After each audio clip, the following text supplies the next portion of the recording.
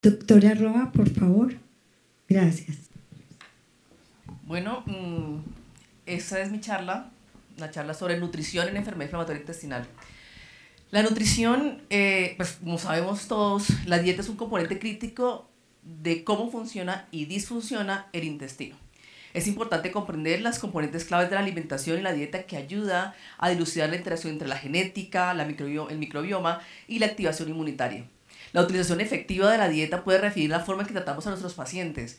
Los pacientes y sus familias también están demasiado interesados en las intervenciones dietéticas. ¿Qué es lo primero que nos preguntan? Pues doctor, usted me explicó que tengo enfermedad inflamatoria intestinal, me explicó que tengo colitis, Crohn, que sí, que el linfocito, que la terapia, que todo esto. Pero, y entonces, después de que uno ha durado 10, 20 minutos explicándole qué es lo que tiene, doctor, pero tengo una pregunta. ¿Y qué como? Todo nos ha pasado. Y esta es la cara que hacemos. Ah, bueno, espérate, ya hablamos con la nutrición, le interconsulta nutrición y no y es importante también que aunque tengamos a nutricionista en nuestra consulta, como es nuestro caso en la consulta de enfermedad inflamatoria intestinal de San Ignacio, eh, en muchos, en la mayoría de los casos no tenemos la nutricionista a la mano y los pacientes están, necesitan algún tipo de intervención y algún tipo de consejo en qué van a comer. Pasamos de una dieta de hamburguesas, papitas, eh, brownies, donas, o la dieta colombiana, ajiaquito, chicharroncito, pescado, a frutas, verduras, cereales, mmm, smoothies, eso me queda difícil de comerlo, eh, no puedo comprar, no tengo nevera para esto. ¿Cómo hacemos para pasar de ese tipo de dietas a algo que me sirva para mejorar mi enfermedad? Pienso que hay tres momentos para pensarlo. ¿Cómo la prevengo la enfermedad inflamatoria intestinal? Qué hago cuando esté activa mi enfermedad y qué más puedo hacer, qué cosas tengo en la mano diferente a, lo que, a los medicamentos que me dan mis doctores eh, en la consulta. Prevención. Hay varios estudios que eh, avalan o que están buscando cómo prevenimos la enfermedad inflamatoria intestinal. Este estudio, en los cuales siguieron mujeres en, una escuela secundaria y hicieron un interrogatorio en qué pacientes iban, en qué mujeres iban a tener más adelante enfermedad inflamatoria intestinal tipo de enfermedad de colitis ulcerativa se dieron cuenta que eh, hicieron una encuesta en los cuales pusieron una dieta prudente y una dieta no tan prudente, en la cual la dieta prudente se eh, facilitaba, era más eh, prevalente el uso de, pescado, verduras, frutas enteras, y estas mujeres tenían menos del 53% de probabilidad de, de, riesgo de enfermedad de Crohn, pero no así en colitis ulcerativa. Usualmente era más con las dietas que favorecían el uso de pescado y fibras y el riesgo disminuía en un 13% por cada 10 gramos de ingesta de fibra. O sea, se relacionaba la ingesta de fibra con la disminución de la enfermedad de Crohn. Una alta en grasas con aumento de la impermeabilidad intestinal eh, que llevaba a una exposición a ácidos biliares, activación de mastocitos, cuando aumentaba, esa es la teoría que aumentaba el riesgo de enfermedad inflamatoria intestinal. Pero llamaba la atención que en este estudio el consumo de carne, carne rojas no se asociaba a un riesgo mayor de enfermedad inflamatoria intestinal. Hay varios eh, estudios de seguimientos, el DNHS y HPFS en hombres, en los cuales también hicieron puntuación de patrón de inflamatorio de diatético empírico, que es un interrogatorio en la cual tiene 39 grupos de alimentos predefinidos que aumentan el riesgo, se han medido la producción de PSR o el aumento de leuquina 6 y factor de necrosis tumoral se dieron cuenta que los puntajes más altos se relacionaban con una dieta altamente inflamatoria y con un índice de masa corporal más alto, menor actividad física, un 51% más del riesgo de enfermedad de Crohn en el cuartil superior y sin, pero sin impacto en la colitis ulcerativa. Este es el estudio de población, ese es el estudio de las enfermeras, eh, la fase 2 del estudio de las enfermeras y el HPFS estudio, que medía los eh, ultraprocesados en, en 245.112 participantes con un seguimiento persona a año de 5.468.444 días. ¿sí? El, desenlace en las pacientes que presentaban enfermedad de Crohn o colitis ulcerativa y se dieron cuenta que los pacientes que tenían más alto riesgo, una dieta con más eh, materiales o más alimentos proinflamatorios, tenían más riesgo de enfermedad de Crohn, y, pero no tenía tanta relación con la colitis ulcerativa. ¿Qué ultraprocesados? Eh, edulcorantes artificiales, sobre todo que venían en panes, sobre todo que venían en eh, alimentos de la, de la, del desayuno, cereales empaquetados, alimentos o carnes que serán de fácil, eh, que vienen congelados y que solamente es meter al, al horno microondas y a calentar, que tienen alto contenido de preservantes artificiales, azúcares y emulsificantes. ¿Qué mecanismos sustentan que esos pacientes tengan enfermedad inflamatoria intestinal o, enfermedad, o inflamación intestinal? Se damos cuenta que la dieta mediterránea, que, es alta en frutas, vegetales, granos enteros y mariscos, em, alimentos, alimentos marinos, bueno. Eh, favorece la diversidad del microbioma, favorece la, esa permeabilidad intacta del intestino y que va a llevar a una tolerancia versus inflamación, a un equilibrio de la tolerancia versus inflamación. En cambio, la dieta occidental, que es alta en carnes rojas, alta en alimentos procesados, alta en azúcares refinados y alta en grasas saturadas, va a llevar a disbiosis del microbioma, va a llevar a alteración en la barrera intestinal con alteración o pérdida de la tolerancia intestinal. Por eso es la relación tan importante que tenemos entre la dieta, la enfermedad inflamatoria intestinal, el microbioma, pero ante todo también las características genéticas del huésped. Como, por, eso llamamos una barrera intestinal que puede estar alterada por alta, eh, una dieta alta en azúcares y grasas, emulsificantes, baja en fibra, que va a dañarnos nuestra eh, capa mucosa, las células caliciformes, una dieta baja en fibra, una dieta alta en grasas y una alta, alta en gluten va a llevar a aumento de las catecilidinas, las defensinas y la regulación de telefocitos T. Además, una, una, dieta con emulsificantes, carragenanos, gluten y alta en grasa, también un aumento en la permeabilidad intestinal y esta misma dieta va a tener una dificultad en el aclaramiento de la bacterial intracelular listo, ya prevení, yo estoy súper juiciosa con mi dieta, o al contrario, eh, tengo una dieta alta en grasa, alta en, en, carnes y me dio enfermedad inflamatoria intestinal. Y tengo una enfermedad activa. ¿Qué vamos a hacer? Hay varios tipos de dieta, hay varios estudios que nos diferencian bastantes tipos de dieta. Está la nutrición enteral exclusiva, está la dieta de carbohidratos específicos, la dieta de exclusión para Crohn, especialmente en Crohn, y otras dietas que vamos a ver más adelante. ¿Qué es la dieta de carbohidratos específica? Esa dieta es una dieta libre de granos, baja en azúcar y baja en lactosa. Casi todos los alimentos se elaboran desde cero, es decir, tenemos todos los ingredientes de nuestra alimentación y se hacen desde cero. No nada de empacados, nada de embutidos, nada de cosas que vengan directamente, que sean solamente ramen o esas cajitas, o nada de Maggi, nada de esas cosas. Como, perdón por decir marcas, no es que tenga nada en contra de ellas. Eh, como es alimentos no procesados, frutas, verduras, carnes, frutos secos, lo más variado, pero a la larga puede llegar a ser restrictivo para nuestros muchos pacientes porque son muy costosas. Y lo que han visto es que esto eh, puede ayudar a la eh, pues está, su, está muy mal delimitado si hay aumento de la curación mucosa, pero sí mejoran los clínicos, los síntomas clínicos y normalización de laboratorios como la PCR y la albúmina. Hay un estudios comparativos entre la dieta simplificada de carbohidratos y la dieta mediterránea, en la cual se dieron cuenta que ambas tipos de dieta disminuían o mejoraban la remisión clínica sintomática a las seis semanas, mejoraban la carprotectina eh, fecal y mejoraban la respuesta de la PCR. Además de eso, eh, a las 12 esto, estos estos hallazgos clínicos, esos limitaciones, de los objetivos clínicos mejoraban, eh, para clínicos mejoraban a las 12 se mantenían a las 12 semanas. Y está la otra, la otro tipo de dieta, que es una dieta específica para enfermedad de Crohn, que la idea es replicar la nutrición enteral exclusiva. Es decir, en vez de tener la bolsa de nutrición de enteral, replicamos la misma cantidad o la, las características de esa nutrición enteral, pero con alimentos. En la cual más o menos para una persona de 15 años con enfermedad de Crohn, 48 kilos y 1,70, o sea, bastante delgado, ay, cambia algo en los cuales daba multivitaminos, multivitaminas, leche, eh, cereales, de cereal de arroz, jugo de manzana, un snack y una, eh, un almuerzo y un snack en la tarde y comida en la noche. ¿Cuál es la idea de esta dieta de exclusión específica para enfermedad de Crohn este estudio que hicieron? Compararon la dieta eh, de exclusión para enfermedad de Crohn más una nutrición enteral parcial, no exclusiva, parcial, la compararon con la nutrición exclusiva, enteral exclusiva, en los cuales, ¿y cuál es la lógica?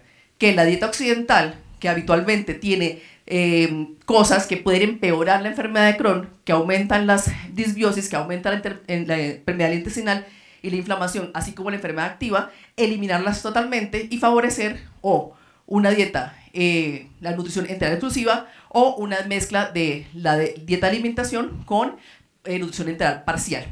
¿Qué vemos esto? En estos cuales removieron ah, eh, grasa animal, removieron trigo, removieron lácteos, carnes rojas, emulsificantes, maltodextrinas y carrageneros.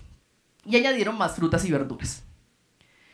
La idea es que los pacientes entraran en un estudio de 12 semanas, de 0 a 6 semanas, tenían una mezcla de la dieta exclusiva versus la dieta parcial. En las semanas 6 a 12 cambiaban, eh, la cantidad de eh, dieta oral y disminuían la dieta exclusiva, eh, perdón, disminuían la dieta enteral parcial y luego solamente la persona continuaba su dieta exclusiva. Versus el grupo 2, que era solamente nutrición enteral exclusiva. ¿Se dieron, ¿Qué se dieron cuenta?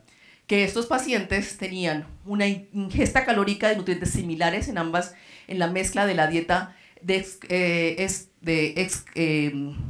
de, exclusión de enfermedad de Crohn, y eh, menos síntomas gastrointestinales y cambios similares en el microbioma. Es decir, dar solamente la dieta enteral o la nutrición enteral exclusiva versus una dieta mezclada de ambas era más tolerada para el paciente y tenía iguales resultados. Y en los niños con enfermedad de Crohn activa tenían respuesta clínica y disminución de la calprotectina fecal, lo cual llevaba a una mejor tolerancia y a decir que en los pacientes que tienen enfermedad de Crohn, aunque este estudio fue en los niños con enfermedad de Crohn, puede ser replicado en los adultos, con eh, mejor adherencia a la dieta.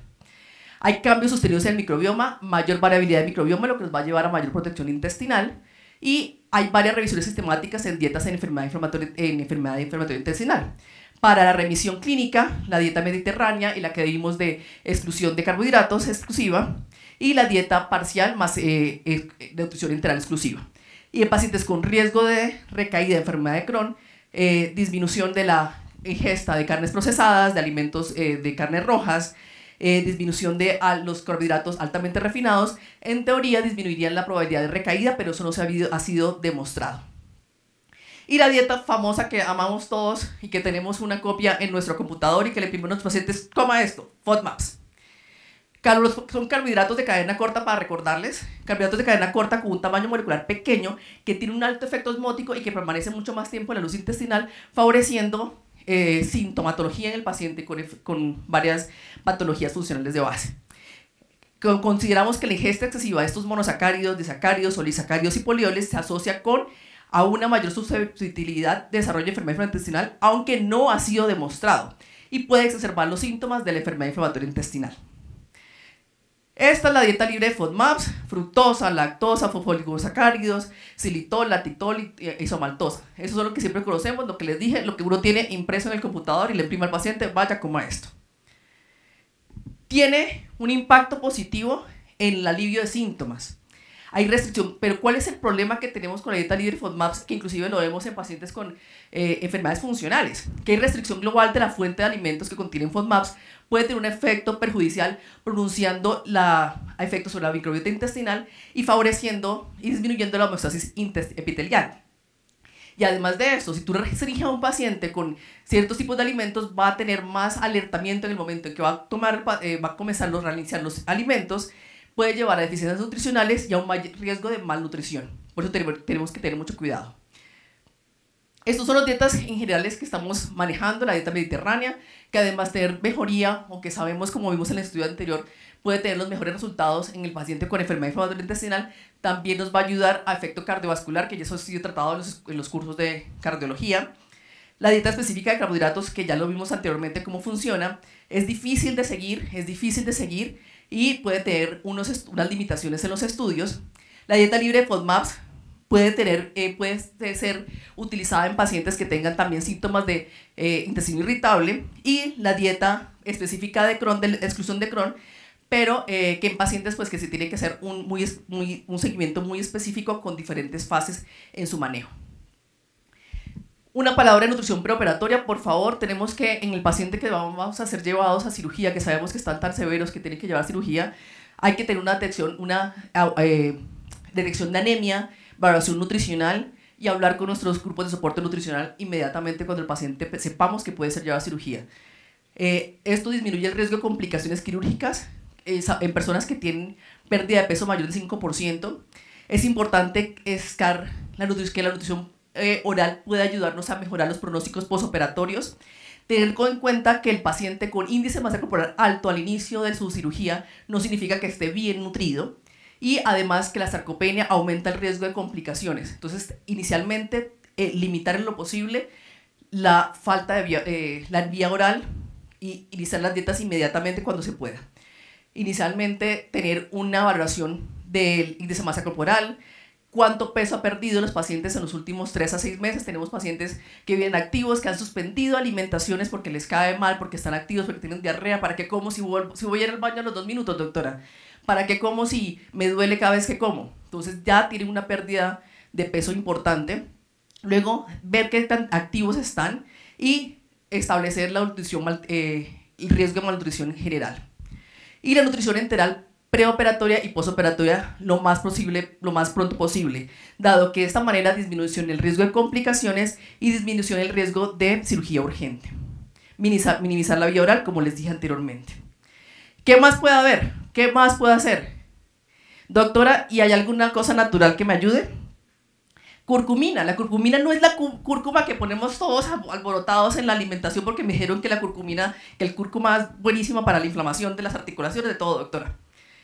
Es una sustancia fitoquímica biológicamente activa presente en la cúrcuma que tiene efectos farmacológicos, es usada en la medicina ayurveda y china tradicional y en eh, eh, experimentos in vitro han demostrado que hay alteración en los, eh, que mejora o que favorece con propiedades antiinflamatorias antioxidantes o los linfocitos, o sea, sí tiene un peso científico, pero es la curcumina, no es la cúrcuma que le echamos la comida. ¿Cómo se usa? La han usado, la han descrito en terapia de inducción para colitis ulcerativa usada en 3 miligramos al día por 4 semanas y luego miligramos dos veces al día por 6 meses. ¿Cuál es el problema? Pacientes han tomado mucho más dosis a más largo plazo y aumenta el riesgo de hipertensión pulmonar. Y la mezcla también con índigo naturalis, que viene de la planta índigo que vemos aquí, que también aumenta la producción de IL-22, que, que, aumenta la producción, la, curación mucosa en colitis ulcerativa.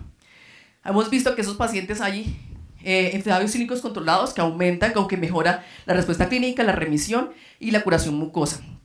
Y la mezcla de ambos en un estudio reciente de 2024 aumenta la probabilidad de inducción y mantenimiento. ¿Cuál problema tenemos de esto? Que los pacientes pueden tener hipertensión pulmonar porque, claro, toman curcumina, me mejoré, siguen tomando y le aumenta el riesgo de hipertensión pulmonar, reportes de intususcepción y alteración de las pruebas de función hepática. Entonces no es que le echen cúrcuma a todo, sino es esa sustancia curcumina, 3 miligramos y luego miligramos al día. Los probióticos, doctora, tomo probióticos, pues no se ha visto que tenga mejoría, no se ha visto que mejoren prolaps, eh, eh, recaída. Y en enfermedad de Crohn, los cannabinoides. Este estudio no está publicado todavía, eh, en teoría reduce el SEDAI en, en 4 a 5 ensayos clínicos eh, reducción de los índices de Leiter en dos de dos ensayos clínicos, mejoría de la calidad de vida y no hubo eh, mejoría en PCR, Mayo o en los eh, seguimientos SSCD. Los probióticos tampoco sirven en enfermedad de Crohn. Pues no lo puse en diapositiva porque pues no. Y con orgullo les presento algunos de nuestros pacientes, algunas de nuestras, nuestras em, observaciones que en conjunto con nuestra nutricionista Ana María Rivera hemos visto en nuestros pacientes de la, de la Clínica de Enfermedad Inflamatoria Intestinal. Tenemos pacientes de, con colitis ulcerativa, enfermedad de Crohn y otros pacientes que no se clasifican en ambos grupos, con los cuales están la mayoría en sobrepeso, eh, perdón, en peso normal, algunos con sobrepeso, muy pocos que tienen desnutrición y aquellos que hemos tenido con desnutrición eh, eh, leve, moderada o severa, que están usualmente asociados con la actividad de la enfermedad, hemos iniciado suplemento nutricional, los cuales ha tenido mejoría en cada paciente. Y observaciones que hemos tenido con nuestros pacientes, que eh, tienen una doble carga nutricional. Pacientes en el extremo del sobrepeso, obesidad y pacientes con desnutrición. ¿Qué otras observaciones hemos tenido? Que la restricción de alimentos durante la actividad de la enfermedad lleva a que el paciente cuando se sienta mejor haya liberación de alimentos durante la remisión y posiblemente llegan sobrepeso, teniendo en cuenta que la actividad inflamatoria en pacientes con sobrepeso también puede desarrollar eh, y, como dijimos anteriormente, favorecer eh, este, este carga inflamatoria y la suplementación individualizada de las necesidades actuales y cambiantes del paciente. Es decir, pacientes, no, no todos los suplementos nutricionales eh, son tolerados por el paciente por la actividad de la enfermedad. No todos los alimentos o las suplementos nutricionales son las mismas para todos los pacientes. Es por eso que tenemos que individualizar a nuestro paciente. Y las recomendaciones generales, la nutrición de precisión, identificación de los componentes específicos dentro de la dieta que pueden afectar la enfermedad. Hay que abordar componentes específicos que desencadenen la enfermedad, componentes específicos de cada dieta y los marcadores de enfermedad. Y tener en cuenta el objetivo biológico, comportamental, de prevención, de soporte al tratamiento, con la integración del estado nutricional y eh, las, las consejos nutricionales generales a favorecer una dieta rica en alimentos como vegetales, frutas, pescados eh, y alimentos ricos en omega 3, disminuir la producción de, o la ingesta de carnes y carnes rojas y alimentos procesados, maltodextrinas, etc., con eh, evaluar a nuestros pacientes en diferentes estados, en el estado de salud, en el estado de estenosis, en el paciente con enfermedad inflamatoria eh, que está activa, en el paciente que está desnutrido de base y que vamos a llevar a cirugía, en el paciente que tiene una complicación aguda y en el paciente que ya vamos a después a recuperación.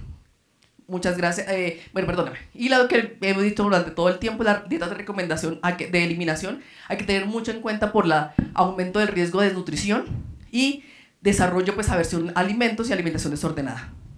Muchísimas gracias a todos.